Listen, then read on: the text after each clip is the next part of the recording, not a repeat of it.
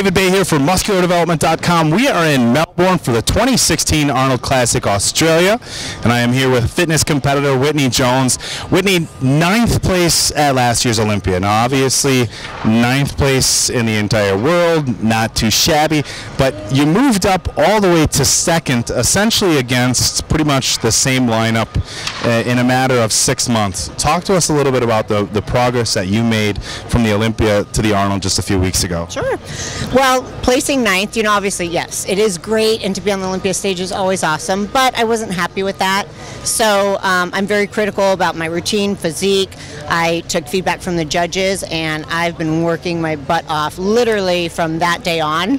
Um, literally. Literally working everything. Um, for my physique, they always say, bring your legs down, bring your legs down. But I haven't trained legs for six years. So a little bit of a problem, right? It is. It's like I'm not training them. But so what do you do? I mean, because I know some guys who have been advised to bring stuff down mm-hmm. will like train them every day, like to purposely try to overtrain them to ha- to cause atrophy. But if you have really genetically gifted legs, that can backfire as well. It did, and I did try that, and it didn't work. They got bigger. So um, I actually started trying to do. I never do cardio, believe it or not. Um, routine is my cardio. No cardio at all. Jeez. You so I started to do some um, just early morning. Nothing extensive. I mean, 10 to 15 minutes, but I did it consistently every day, and. and it, they started finally coming down. I mean, but it was it took months and months and months because it was small changes, but those small changes really add up. And just trying to pull my whole physique and my package together to be more symmetrical. Um, since my legs were so overpowering, I needed to have my top match it. So I did that, and then of course just with the routine. Routine's two thirds. So yeah. Now routine-wise, yes. anybody who's seen your routines knows that from an athletic standpoint. I mean, let's take away polish and all the other stuff. Just from a straight athletic standpoint, your routines seem to be a little bit above everybody else. What's what like like what's your I mean like jumping eight feet off the air, all kinds of crazy stuff.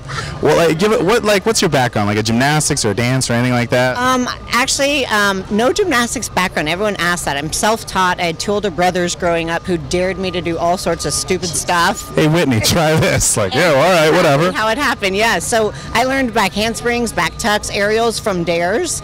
Um, but then as I got older, I did dance. And I feel like I feel like I should be like giving like a warning, like don't don't don't try this.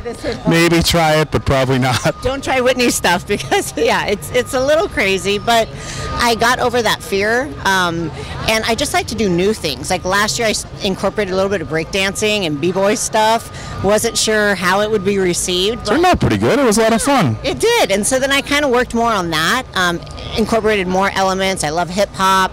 I just love more like bold, in your face, just fun and energetic routines. So that's what I always try to bring to the stage. I think, what do I love?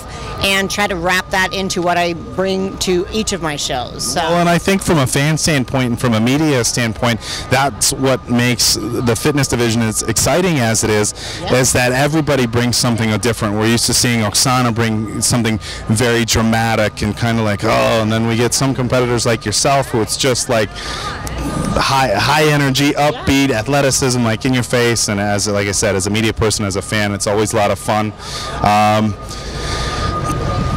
changes from you know we know with the fitness routines generally speaking you guys put a lot of effort into putting those together. So i mean sometimes people want to know if there's going to be changes but can we essentially look for the same routine that we saw a few weeks ago so yeah, we always kind of make a few tweaks, but we'll have to see. I'll ask you tomorrow or Saturday. Saturday. What'd you see? Did you notice the changes? So. All right, guys. Well, you can look for those changes as she said. Saturday, uh, fitness prejudging starts at 3 p.m. I believe you guys are just going through the physique round yep. at 3 o'clock. Finals start at 7. Remember, guys, all these times are 15 hours ahead of Eastern Standard USA time, 18 hours ahead of uh, West Coast time. So make sure to keep that in mind when you're looking for all the updates and everything you're used to from musculardevelopment.com.